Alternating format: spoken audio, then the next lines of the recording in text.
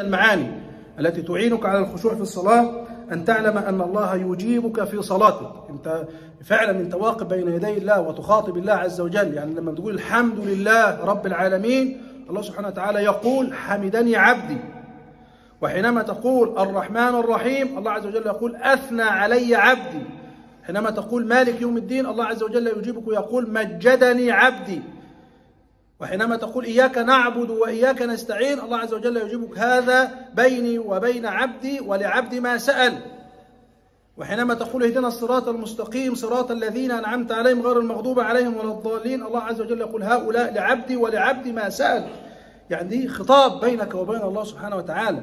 يبقى لازم انت كما قلت ليست حركات وطقوس وإنما أنت بين يدي الله والله عز وجل يجيبك في دعائك ولا بد إنك أنت تفكر في معاني الكلمات التي تنطق بها. وأيضا تتدبر في الآيات التي تقرأها. يعني حتى بعد سورة الفاتحة إذا قرأت مثلا سورة من سور القرآن بتتدبر في معاني السورة حتى ولو كانت من قصار السور أو الآيات التي تقرأها وأن تنوع فيها. لماذا التنويع؟ لأن التنويع يعينك على الايه؟ على الخشوع وأنك أنت تفكر في معاني الكلمات.